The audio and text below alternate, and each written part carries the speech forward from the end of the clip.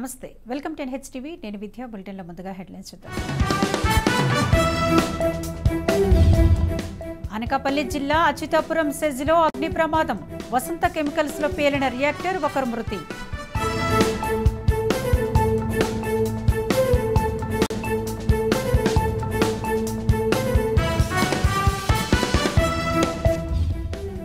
వీధి కుక్కల దాడిలో పన్నెండు నెలల చిన్నారి మృతి. బారుడి మృతిపై సీఎం రేవంత్ రెడ్డి దిగ్భ్రాంతి.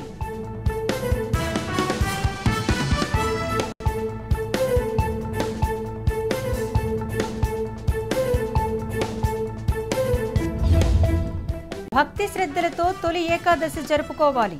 రాష్ట్ర ప్రజలకు సీఎం రేవంత్ మాజీ సీఎం కేసీఆర్ శుభాకాంక్షలు.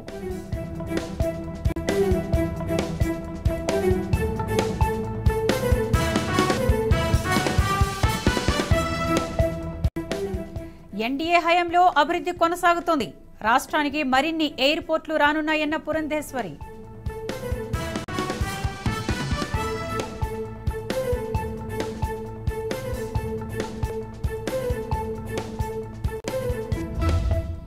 హీరో రాజ్ తరుణ్కు నార్సింగ్ పోలీసుల నోటీసులు. లావణ్య ఫిర్యాదుపై విచారణకు హాజరు కావాలని ఆదేశం.